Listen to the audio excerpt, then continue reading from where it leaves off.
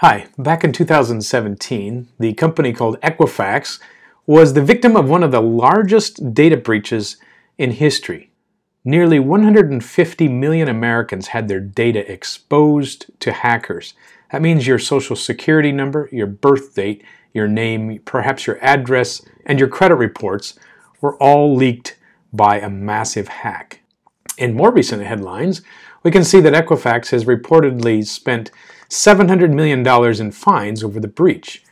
You're actually eligible, perhaps if you've uh, been a victim, to file a claim and you can get your $125 damage.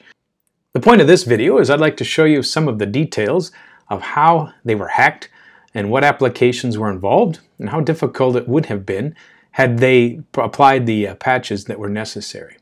So what you see on the screen here is a diagram of basically the uh, Equifax data systems that were involved.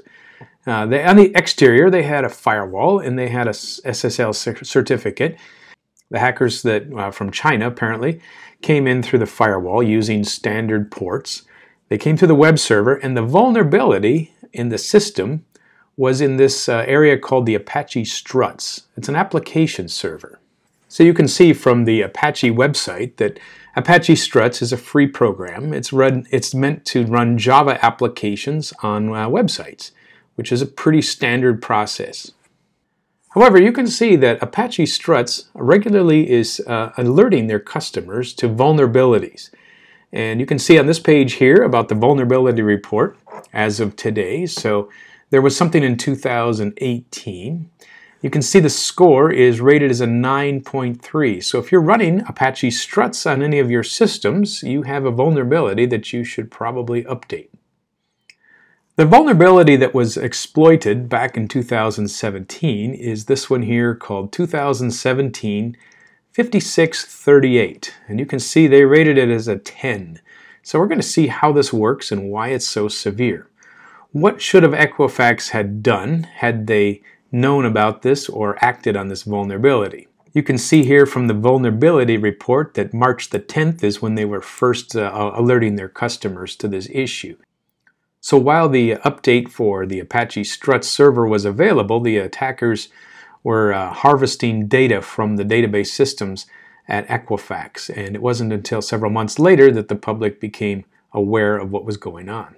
So apparently the hackers, after coming in through the firewall and finding the Apache Struts server that was not updated, they were able to run an exploit that allowed them to browse around inside of the network.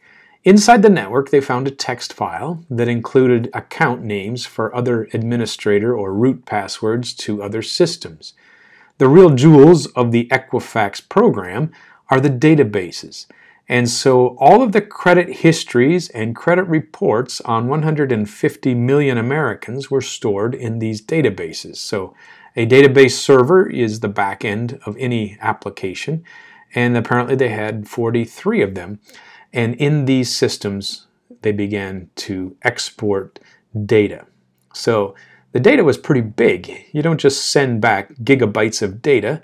What they did is they, uh, they, they downloaded or exported this data into text files, and then in 10 megabyte increments, they would send these items back to China through the firewall. Now, the Equifax employees apparently were updating their SSL server and noticed the traffic that was leaving their network. And so this is when they reported that they had a breach. And then we realized that uh, many of the uh, records had already been exported and were gone by that time. So I have on the screen here an example of a web server that is vulnerable. You can see that uh, this website, whoever they are, has a, a detection report. It says the uh, Struts problem report and inside of here is a keyword that says development mode is enabled. And so this server here is apparently uh, vulnerable. So how did I find this page? Well, I'm looking for a Google Dork, they call it. And I searched here for the title that says, we must see any page on the websites that have the words Struts Problem Report. And somewhere on the text of the page, I want to see the words also, development mode is enabled. And so I was able to find this page here simply by using Google. So this, this page here is like a, a red flag sent up to say, um, hey, we have a problem on our Apache Struts server. Uh, we have uh, enabled the development mode on our computer, and free, feel free to come in and hack us. That's really what is being, being said here. Here's another page that would be an important uh, utility. This shows you that you really don't even have to know how to do much programming to be able to hack into a system. This GitHub page shows some Python scripts that are um, exactly for what a hacker would need to use. So it's a it's a exploitation tool. Let's let's see how easily this is applied. So I've got this uh, Python script here, and I'm going to run the uh, Python script against a website. So I'm not going to actually reveal the website name, so I'll blur that out. What I have to do is run this uh, script against the URL, and you can see that it automatically goes to check to see what's vulnerable. And it says here that your struts server is vulnerable. And now it says, um, would you like to run another command on this server? So the shell allows me to run different commands, such as list. We can find out what folders and files are on there. The present working directory, pwd, tells me which folder I'm in. Let's say if I can go and find the passwords of the system here. So I just do a cat and this will show me every username and it doesn't show me the password yet, but I'm pretty close to it. I can get all of the usernames that are on this system. So as you can see, it's really quite shockingly simple to run a script and then on a vulnerable system, you can see the directories, you can download files, you can run commands from their prompt. So what's the solution? What should you do?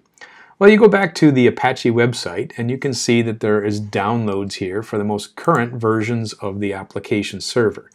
So there's updates, you can get the full suite.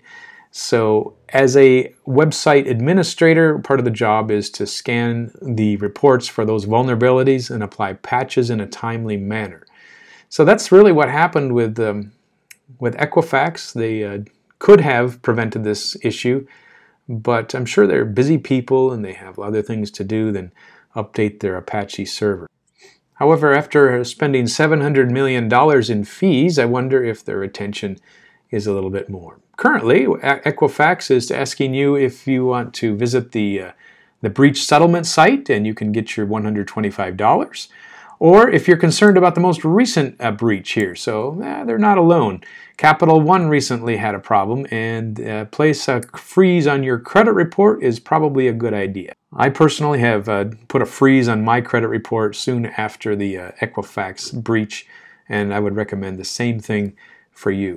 It's certainly not difficult to do, and it will prevent other people from uh, opening new mortgages or car loans using your name and your credit score. So uh, Equifax certainly dropped the ball, and they won't be the last company to do it. And if you are working in any kind of IT systems, make sure that you uh, regularly update your servers and know what your vulnerable points are. So thanks for watching.